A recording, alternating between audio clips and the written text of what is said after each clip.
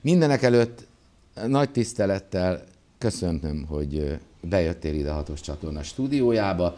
Ebben a korban már így közel a 60-hoz azt hiszem nyugodtan mondhatjuk, hogy, hogy öröm látni, egészségben látni, de azért nem akarom elviccelni a dolgot, mert az, hogyha valaki 90-en túl is nem elég az, hogy egészséges és aktív, hanem dolgozik, mert úgy tudom, hogy még mindig bejársz a Víg Színházba, akkor ez mindenféleképpen megsüvegelendő.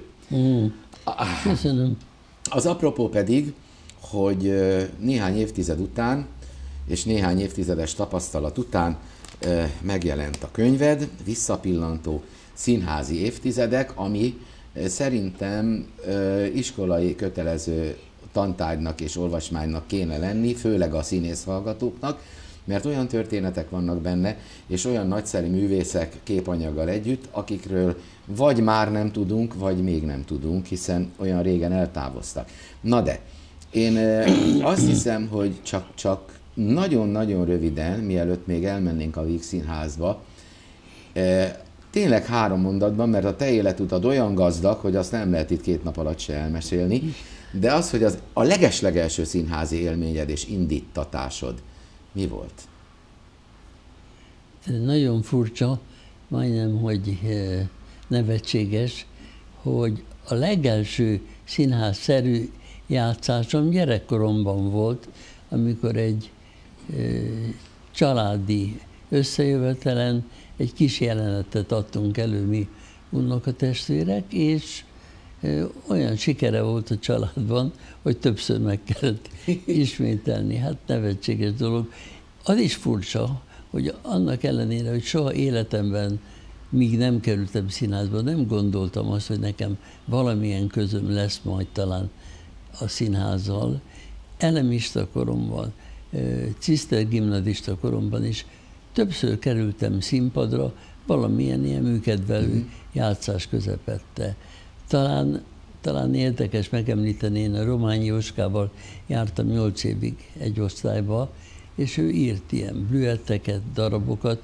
A Rímhányó Rományi. A Rímhányó Rományi, eh, akinek egyébként a lánya a könyvemben ír az édesapjáról, mm-hmm. és akkor is szerepelgettem a Ciszter színpadon, uh-huh. és hát aztán már szorosabb kapcsolatba a színházzal akkor kerültem, mikor én magam is színház csinálóvá váltam a kényszerokán hadifogságban. Értem. Ott ugyanis valamit kellett csinálni, hiszen be voltunk zárva, és ö, ott ott egy nagyon értelmes szovjet kultúrtiszt, akinek jól jött, hogy van Pest, néhány pesti srác, akik képesek arra, hogy ott a semmiből színházat csináljunk, amivel azt a 2500 bezárt hadifoglyot valamivel szórakoztatjuk, lekötjük, tehát ilyen szempontból még támogatás, sőt, levest is kaptunk, vagyis profik voltunk ebből. Ez a levest egyébként elmondták, és a kollégák most a, a Vix Színházi könyvbemutatón nem csak azt, hogy milyen, hogy minden tudsz a színházról, hanem azt is, hogy hogy én mindig, mindig nagyon-nagyon elegáns voltál, és ezt most azért is mondom, hogy egy picit félrecsúszott a nyakkendőd, ezt egy pillanatig így megigazítjuk, mert nem, hogy hazudtoljuk meg önmagunkat itt se. Köszönöm. Szóval elmondták, és de ez csak zárójel, a, amikor mondtad, hogy, hogy még, még ételleves, de erről az jutott eszembe, hogy, hogy volt olyan időszak, amikor, hát nem is mondom azt a szót, hogy gázsi, hanem nem volt semmi, amikor megettétek a kelléket, ha jól tudom, valami hacsek és sajónál. Így van, így Az hogy történt? hát egyszerűen, hogy mi írtuk magának a hacsek és sajónak a szövegét, ugye, és akkor a, a klasszikus vadnai féle hacsek és sajó szerint pincér, pincér, mondja hacsek, parancsol hacsek úr, és akkor a hacsek rendel, hozott nekem egy valamit. Kábét. Mondjuk egy kábét. És akkor mi rendeltünk, hozzon egy levest. és az egy napi élelmiszer adag volt, tehát az hihetetlenül sokat jelentett, hogy egy plusz adag levest megehettem, mint színész, és 2500 ember irigykedve nézte, amint én ott egy plusz levest fogyasztok a színpadon. De így történt. Egyébként ez egyetlen egy történet a sok közül, mert hogy itt a, a színházi évtizedek, ami az alcíme a Visszapillantó című könyvednek, hát itt tényleg nagyszerű történetek vannak benne, egyrészt események, itthonról és külföldről, másrészt pedig színdarabok, harmadrészt és végül, de nem utolsó sorban Rutkai Évától Gobbi Hildáig nagyon sok színésszel kapcsolatos történet. De miután a könyvemutató a Víg Színházban volt, én azt javaslom, hogy akkor nézzük meg együtt, amit forgattunk a könyvemutatódon, már csak azért is, mert azokat a színészeket és riportalanyokat, akik megszólalnak ebben a következő néhány percben, Igen te se tudod úgy, hogy mit mondanak. Kíváncsi vagyok. Íme. Ha valaki tud mesélni a színház világáról, az Lázár Egon.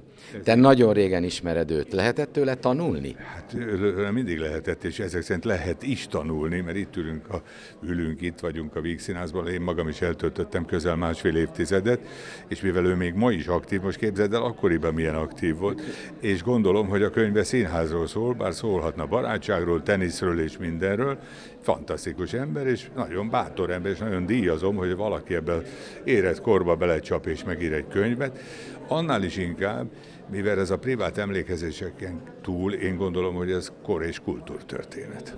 Még egy dolog, hogyha valaki átvészelte ezt az utóbbi 6-7 évtizedet, mert azt az ő szemszögéből én mondhatom, és mindig meg tudott felelni a követelményeknek, akkor azért valamit nagyon tudnia kell, mert a gazdasági környezet az elmúlt fél évszázadban rengeteget változott. Te biztos, hogy nagyon tud valamit először is gazdasági igazgatóként, de mivel eh, nem csak egy pénzügyi szakember, hanem szerelmes a színháznak, ez a kettő annyira összefüggött, hogy ezt minden követendő művészeti intézményben dolgozó gazdasági igazgatónak ajánlom, és hát Isten éltesse őt, mint példaképet. A Víg Színházban eltöltött évtizedek nem elsősorban művészeti szempontból, hanem gazdasági szempontból mit jelentenek annak a művésznek, aki sok-sok éve együtt dolgozott, dolgozik Egonnal?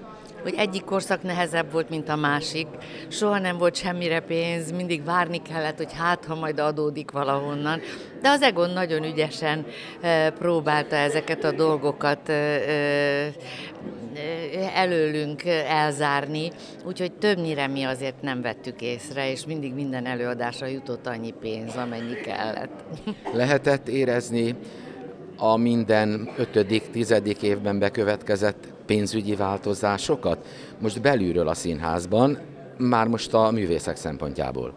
Hát annyiban lehetett, hogy néha azt mondták, hogy ezek régi ruhákban játszódó jelenetek lesznek, hozzatok otthonról, veszünk a raktárból, nincs az anyagra pénz, ennél jobb anyagra nem futotta, szóval mi a jelmezeken éreztük leginkább.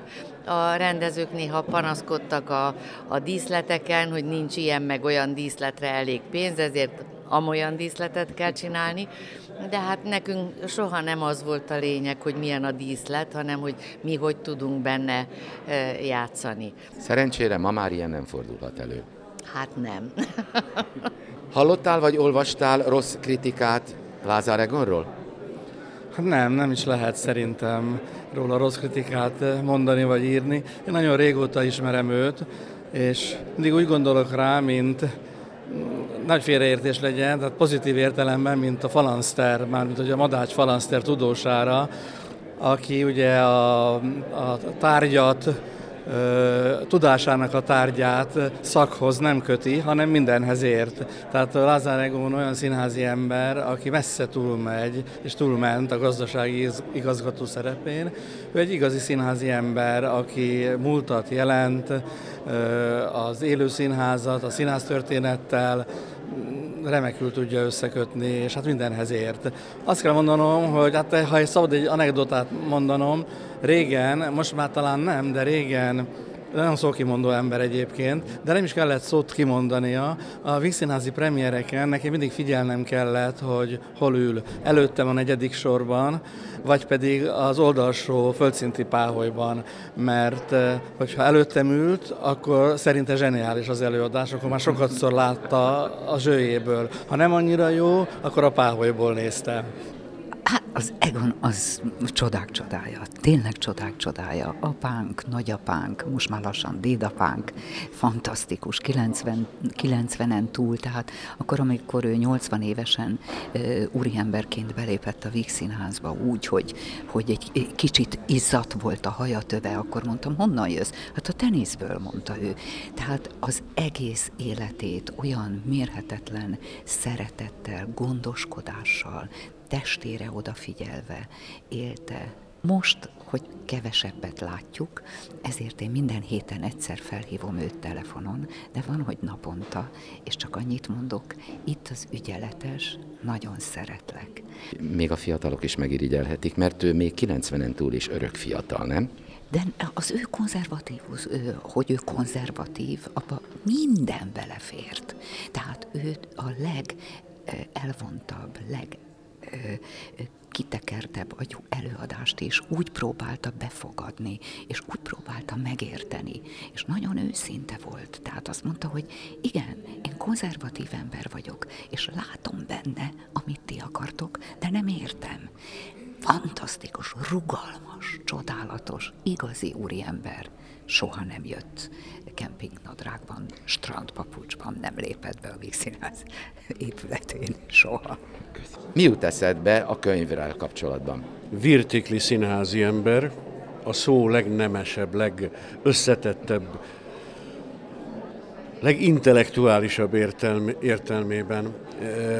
Az a szép az Egonnál sok minden mellett, hogy nem egy dolog érdekli a színházzal kapcsolatban, hanem minden és szinte minden dolgot a sajátjának érez és hisz, és igyekezett is ezt a, ezt a sok évtizedet úgy eltölteni, hogy szinte mindig mindent a szívén viselt. Ezt a saját bőrötökön is, mint művészek éreztétek? Hogyne, hogyne. Hát az, hogy a színháznak van egy gazdasági főnöke, az, hogy az a színház azért érződik, hogy az egy jó kezekben van, mind anyagilag és mind hangulatilag, az nagy rész neki köszönhető. Nem süllyedtünk el, nem ütköztünk jéghegynek, és ebben Egonnak nagyon nagy szerepe.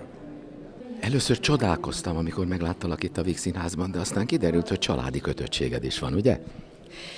Édesanyám Csongrádi Mária Jászai Díjas rendező, a Dériné Színházban volt nagyon-nagyon sokáig. Tulajdonképpen kisetette a lábát onnan, csak közben a színház neve változott. Budapesti Kamara Színház, Józsefvárosi Színház, stb és Lázár Egon volt a gazdasági igazgatója, úgyhogy Egon engem születésemtől kezdve figyelemmel kísér az első tipegésemtől kezdve, minden lépésemnél ott volt. Tanultál tőle valamit? Azt tanultam, hogy uralkodjunk az indulatainkon, és ezt meg lehet tanulni. Hogy ö, mielőtt valamire hirtelen szeretnénk reagálni, számoljunk háromig. Én azt gondolom, hogy ő egy hihetetlenül színházszerető, nagyon profi, olyan szívvel, lélekkel tud minden egyes produkcióért, premiéren, premier után drukkolni, ami, ami hát a színház életéhez ez hozzátartozik. Úgyhogy ilyen volt, és most is ilyen. Beszokott ő ülni, és annak idején is beült a próbákra is? Be, be, be. Most is, a, amikor csak teheti. Bent van.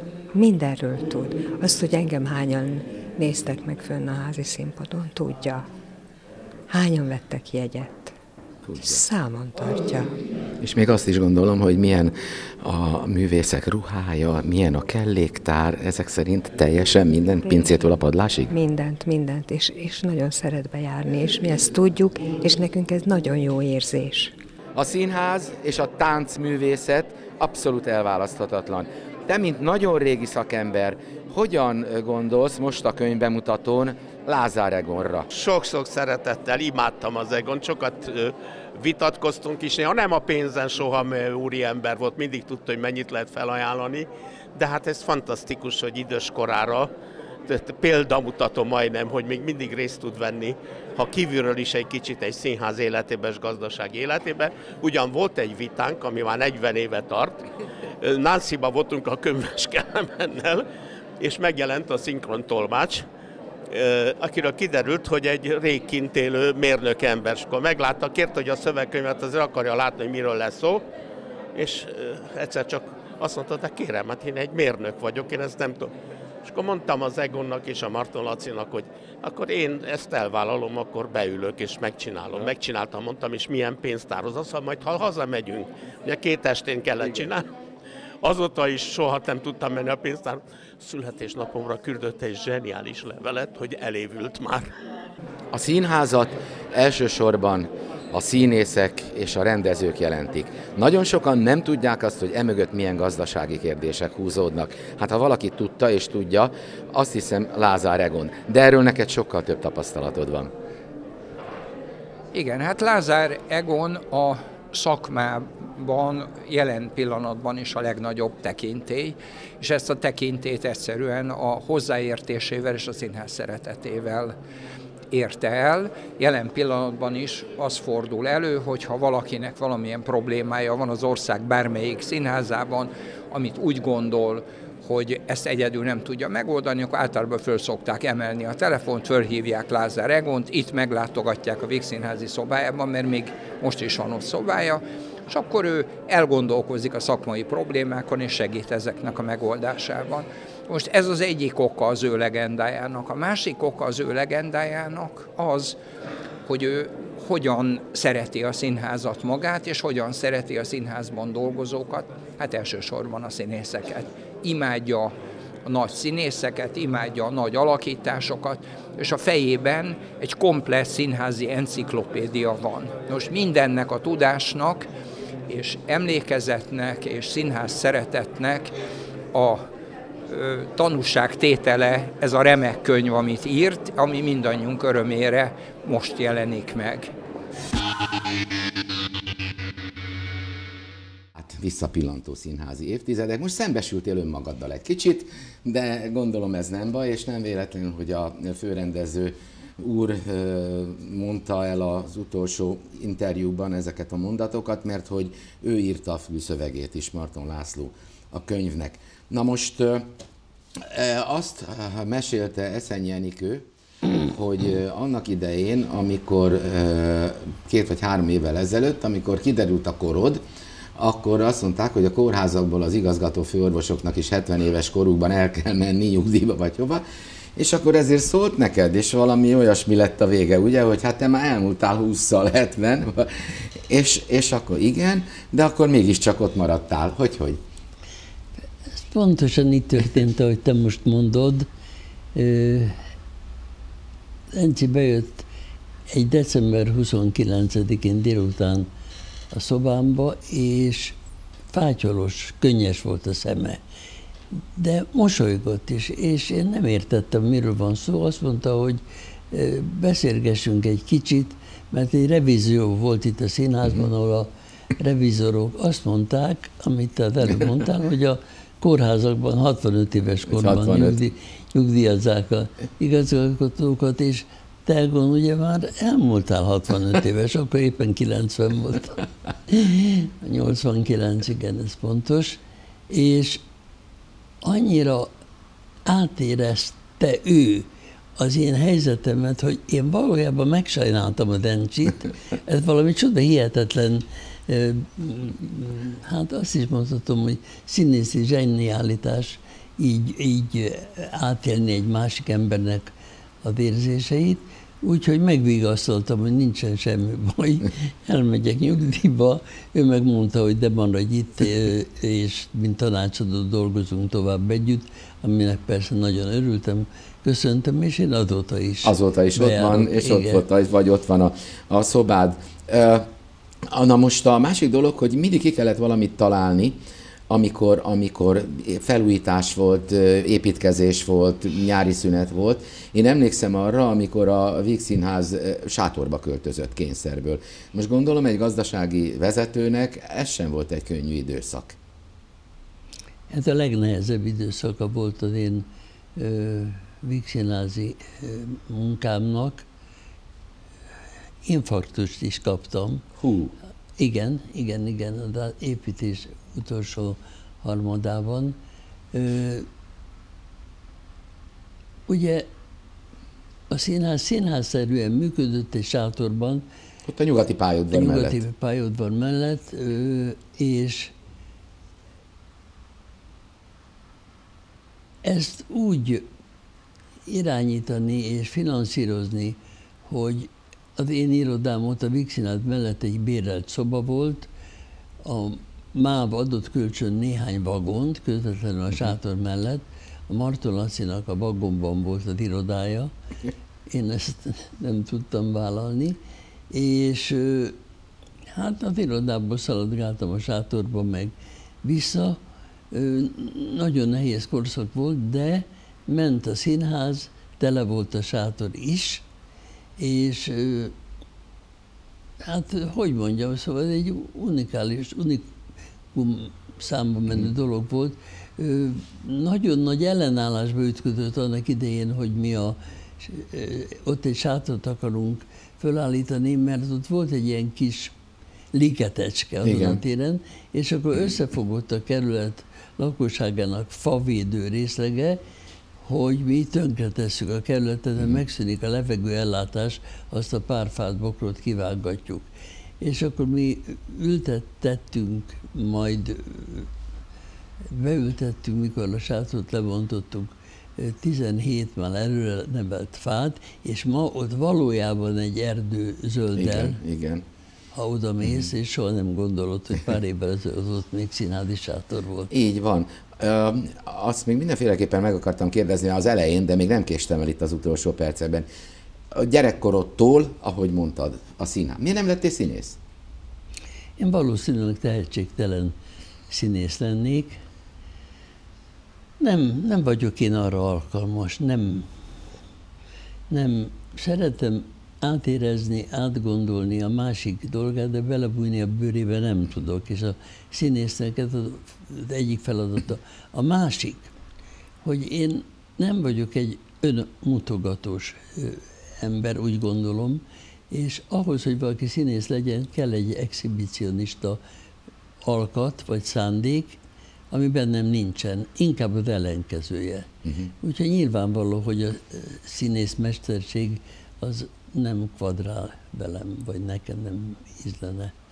Azzal kezdtük a beszélgetést, hogy elmondtad, hogy azokban a háborús időkben bizony még a kelléket is meg lehetett enni, de ha jól tudom, van valami emléked, ami egy gatyamadzakhoz fűződik. Jaj, hát igen, van, nem, nem örülök, hogy említed, mert ez egy, hát ez a, ó Istenem, Szóval ez a hadifogságban beszerzett tifuszom kellős közepén volt, flektifus kaptam. A flektifus az általában halálos betegség, ha nincsen gyógyszerezve, kezelve, és ugye a szovjet hadifogság nem bűvelkedett gyógyszerrel, orvossal, kórházi szobával, ápolóval, szóval mindazokkal, amelyek szükségesek egy beteg ember gyógyításához, mi ott feküdtünk, és vagy meghaltunk, vagy élve maradtunk. És a tífusz egy olyan betegség, amely végig 42 fokos 42 fokos lázzal jár, uh-huh. két hétig tart. Igen. És ez alatt az idő alatt általában én magam is egy ilyen deliráló állapotban vagyunk, vagyis összetévesztjük a valóságot, uh-huh. meg a képzeletet, és én azt képzeltem, hogy engem a németek, akik visszafoglalták az oroszoktól a hadifogságot, elhajtanak Szibériába. És mivel, jaj, de borzasztó. Hát, szóval mivel rajtam az egyetlen öltödék egy ilyen vászon gatya volt, amit kaptak a hadifoglyok, az pedig két madzaggal volt így hasonló összekötve, de nekem csak egy madzagom volt. Attól féltem, hogy le fog esni útközben a gatyám, míg hajtanak Szibériába és ezt próbáltam úgy megoldani, hogy a fricsem oldalán lévő szögre, ami szögben egy cédula lógott, és oda volt írva, hogy Jehon Lázár, vagyis hogy Lázár Egon. Azzal a szöggel próbáltam volna kirukasztani, így delirálva Igen. a gatyámat, de ahányszor megfogtam a gatyámat, hogy oda nyomjam, el kellett engednem a pricsetembe, kapaszkodom, és mindig visszaestem uh-huh. a mhm. földre, és hát aztán úgy szedtek össze reggel, lehetne mondani, egy vérbe fagyva. Hát aztán pedig meggyógyultál, hála Istennek. Meg. És ezt én csak azért hoztam szóba, mert, mert ilyenkor általában csak a vidám történeteket és a nagy optimista hangulatot szokták kérdezni. Hát abban hála Istennek nagyon sok részed volt. Igen, hála De azért Isten. ezek szerintem olyan, most stílszerre mondva hadititkok, amiket nem nagyon tudnak az emberek, de a könyvet tel is tele van jobbnál jobb történetekkel és igaz történetekkel, Úgyhogy én javaslom mindenkinek, hogy úgy pillantsanak vissza a színházi világba, hogy elolvassák a visszapillantóját Lázár Egonnak. Én nagyon szépen köszönöm még egyszer, hogy eljöttél hozzánk, és egyetlen egy kérdés, amire azt hiszem, hogy egy szóval is lehet válaszolni, az irodád ott van a Vix színházban, Igen. és mint hallottuk, még vidékri, más színházakból is fölhívnak, tanácsot kérnek. Dolgozol tovább, ugye? Szeretnék. Köszönöm szépen, és a nézők nevében is ehhez kívánok minden jót. Köszönöm, hogy meghívtatok. Nektek is minden jót kívánok.